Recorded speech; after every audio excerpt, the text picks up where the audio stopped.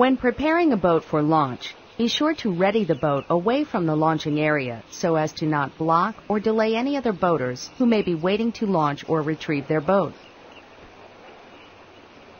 Preparation may involve removing all tie downs with the exception of the winch line, loading additional supplies and equipment into the boat, inserting the drain plug if not already done, disconnecting the trailer's brake lights to prevent burnt bulbs, removing the motor travel supports if applicable, putting the trim up to prevent hitting the prop when launching, and finally, inserting the key in the ignition to start the engine if needed.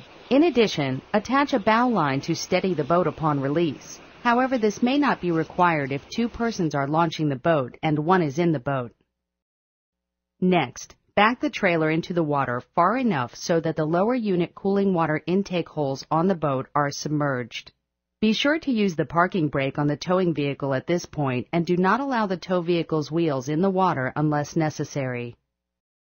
Now, release the winch line and slowly reverse the boat off the trailer.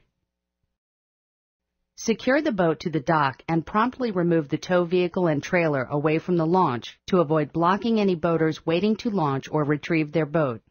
If you anticipate the possibility of any kind of engine problems, start the engine and let it warm up while still attached to the winch line. It is much easier to retrieve the boat while it is still on the trailer.